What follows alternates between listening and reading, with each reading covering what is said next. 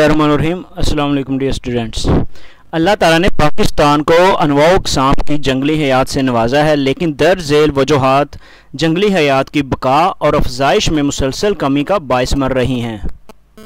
Dear students, अल्लाह ताला ने मतलब पाकिस्तान को जो बहुत किस्म के जंगलात से नवाजा है, और इसके अलावा जंगली हयात भी मतलब जो जंगली जानवर हैं, ठीक है?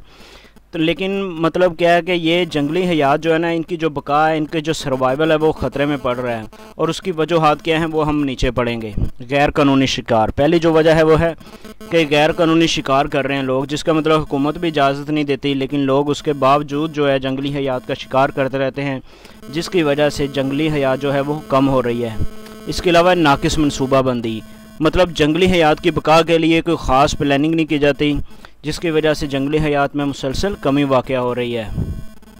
इसके बाद था इंसानी आबादी में मुसलसल इजाफा। ज़ाहिर इंसानी आबादी बढ़ेगी तो जो इंसान की जो रिहाइश है, वो भी ज़्यादा इलाकों तक फैलेगी। तो इंसान की फैलने की वजह से भी जो जंगली हयात है, वो सुकड़ रही है।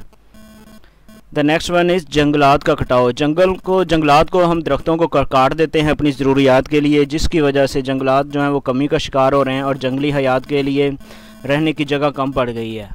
आगे है पानी की कमी। पानी कम होगा तो ज़ाहिर है बारिशें कम होंगी, जंगलात कम होंगे। तो इन सारी वजह, ये सारी वजूहत भी जंगलात की कमी का बायस जंगली हयात की कमी का बायस मर रही हैं। पालतू जानवरों की तादाद में इजाफे की वजह से खुराक में कमी। पालतू जानवर होते हैं जो हम घर में पालते हैं, जिस तरह मुर्गियाँ हैं, बिल्ली है, डॉग्स हैं, ठीक है? तो हमें फिर इनकी खुराक के लिए ज़्यादा हम इंतज़ाम करते हैं, जिसकी वजह से क्या होता है कि जंगली हयात जो होती है, उनकी खुराक में कमी वाक़ हो जाती है। आगे है जंगली पनागाहों का ख़ात्मा। जंगलात के अंदर जंगली जानवरों की जो पनाह गाहें थी, जो उनकी रिहाइशें थीं, वो भी ख़त्म हो रही हैं, जिसकी वजह से उनका रहना मुश्किल हो जाता है और वो फिर किसी न किसी का शिकार हो जाते हैं। आगे हम पढ़ेंगे पाकिस्तान के अहम कुदरती खत्े, खसूसियात और मसाइल। यानी कि पाकिस्तान के अहम कुदरती खत्े कौन से हैं? उनमें खसूसियात क्या हैं और उनके मसाइल क्या हैं? कुदरती खत्े से मुराद ऐसा इलाका है जिसमें सतह ज़मीन की बुलंदी, पस्ती पस्ती कहते हैं नीचे को।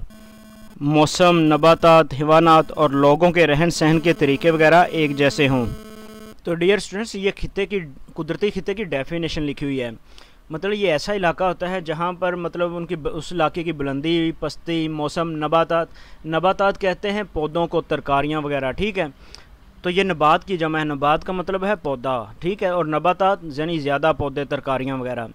तो हैवानात और लोगों के जो रहने, उनका जो लाइफ स्टाइल होता है, रहने का जो तरीका होता है, ये सब चीज़ें एक जैसी हों तो इसको हम कहते हैं कुदरती खिता।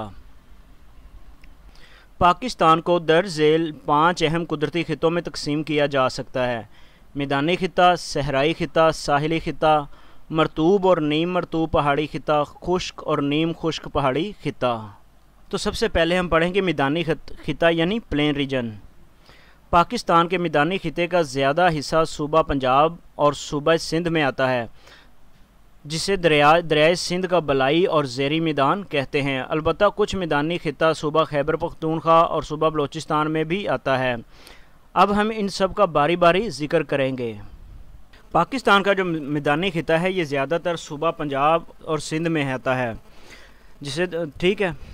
और पाकिस्तान का कुछ जो मैदानी खिता है, ये सूबा खैबर पख्तूनख्वा और सूबा बलोचिस्तान में भी फैला हुआ है। पंजाब का मैदानी खिता, ये खिता जिसे दरियाए सिंध का बलाई मैदान भी कहा जाता है, बड़ा जरहेज़ है। पंजाब का जो खिता जिसे हम दरियाए सिंध का बलाई मैदान भी कहते हैं, ये बहुत जरहेज़ है। यहाँ पर फ़सलें बहुत अच्छी होती हैं। जो आगे है, जो दरियाओं की साल साल साल से लाई हुई बलदार नरम मट्टी से बना है। ये जो खिता है, ये दरिया यहाँ पर जब भी आते हैं तो उनके साथ ये मट्टी आती है और ये बड़ी जरहेज़ होती है। तो इसी तरह ये सारे मैदान वजूद में आए हैं। ये खिता पोटवार और कोहिस्तान नमक से शुरू होकर मिठन कोट तक फैला हुआ है।